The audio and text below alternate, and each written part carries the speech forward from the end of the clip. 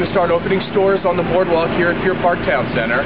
We're obviously very excited about that here at Simon Property Group, and uh, it's something that I think will, the entire community will be proud of.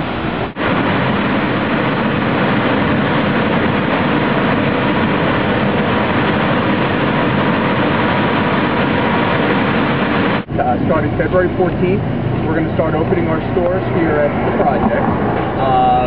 Hopefully you all know, we've already opened Target and the Grand, uh, the Grand Theaters and Panera Bread, and of course Longhorn Steaks. But starting next week, we're going to open the boardwalk, and uh, all through the month of February and early March, we'll be opening stores here at the project. And we're obviously very excited about that. It may seem crazy here with all the construction going on and everything, but we will be finished by February 14th, and we'll be ready for customers to come and enjoy our beautiful project.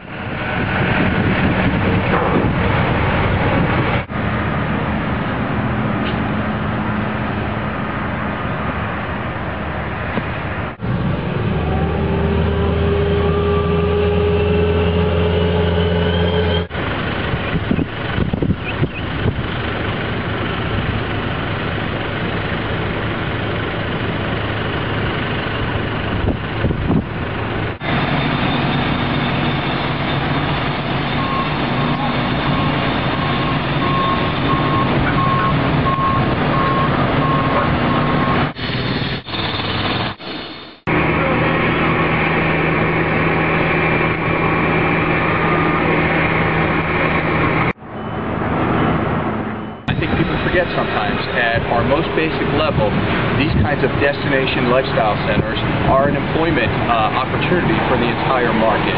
They're an, an opportunity to, to help people improve upon themselves and then obviously to get better jobs. So one of the things we want to get across to everyone is this project hopefully will serve as a regional destination for anyone in the county.